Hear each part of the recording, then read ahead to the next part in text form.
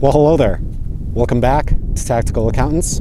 It has been a long, long time since we put any new content on the channel. For that, I want to apologize. I don't have a good excuse for why, other than the crippling addiction I developed to sim racing, iRacing in particular.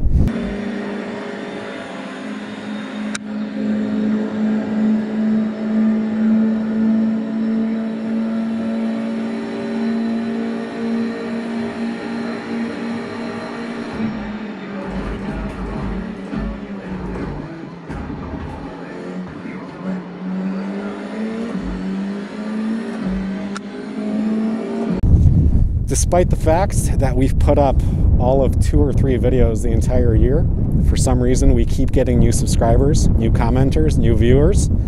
So on my behalf and my fellow tactical accountants, I wanted to take this opportunity to thank everybody out there. Uh, it means a lot to all the subs, all the commenters, all the viewers, to all the friends we've made along the way uh, from more reputable channels like Hop or Navy Man.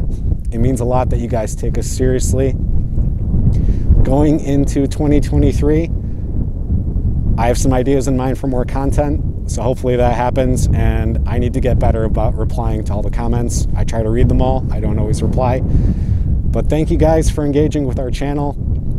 A little belated now, but I hope you had a Merry Christmas or whatever you happen to celebrate. The tradition of Festivus begins with the airing of grievances. And going into 2023, have a happy and healthy new year.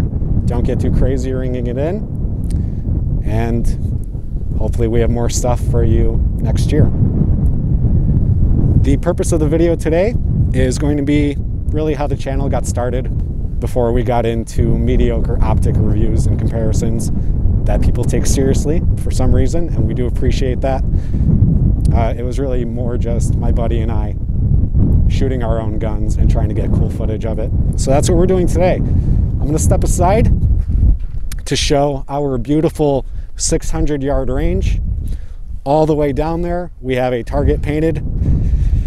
We are going to be engaging it with my newest rifle, the Ruger American Ranch, which sounds a lot like a condiment you would buy at the grocery store, but I digress. This is the Ruger American Ranch in 762 by 39 Commie caliber. On top, we have, I believe, as of the time of my purchase, probably the cheapest way to get into a first focal plane optic with a traditional mil Christmas tree type reticle that I'm partial to after competing in PRS, again, at this 600 yard range. This is the Athlon Talos 4 to 14. Uh, I picked it up from Jeff Bezos for around $190, believe it or not. Pretty solid optics so far. Uh, the turrets don't even feel the worst. It has an illuminated reticle. And again, it's a mil mil first focal plane. So we're going to see how it does out at 600 through this rifle. The rifle is factory.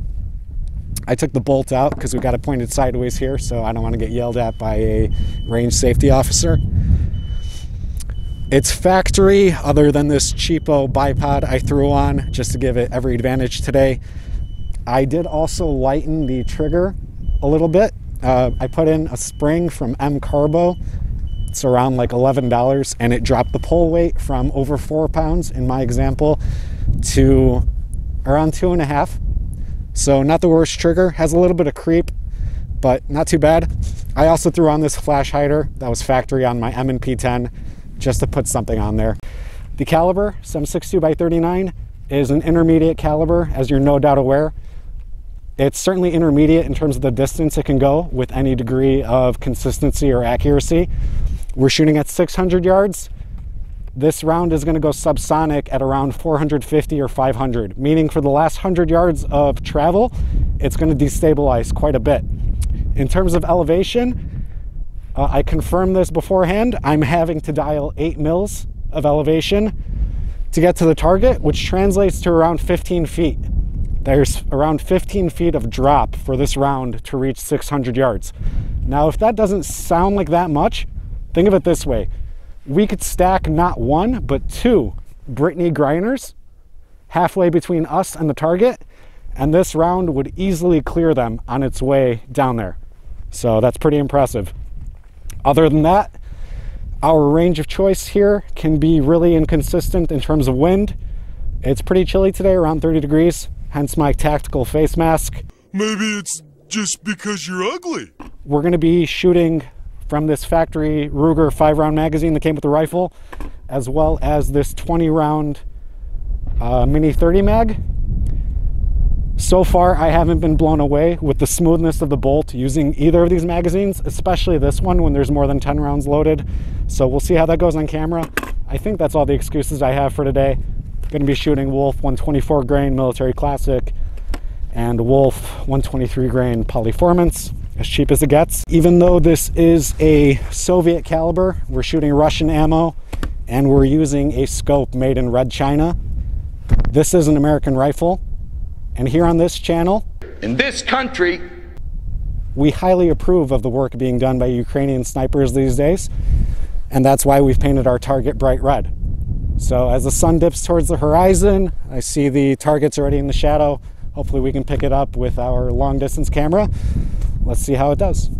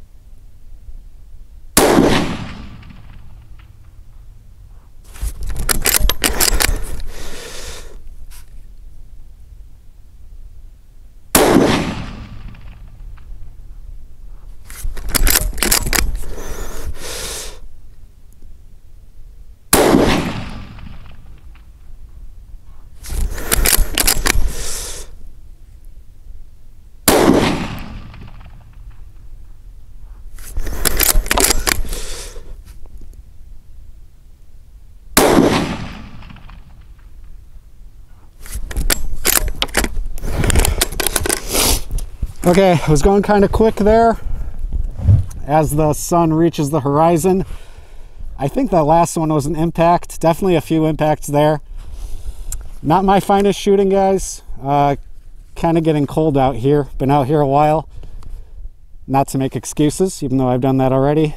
Um, you could see the bolt the bolt is really not the smoothest. That was actually smoother than some of the mags I've, I've had uh, going through this, but even so, you can see using this mag, it even leaves this line that you can see on some of the, the cases, I guess, as it's interfacing with the feed lips here. Maybe I'll reach out to Ruger or look into other options. I think you can run 762 by 39 AR mags in this thing with a different mag well but uh, that's all for another video. As expected, 762 by 39 doesn't do that well at 600, but you can get some hits if you do your part, read the wind right. I think I had a few hits there in succession, so I'll take that. But yeah, that's all I got for you guys today. So once again, have a happy new year, and uh, we'll see you on the channel going forward. Take care.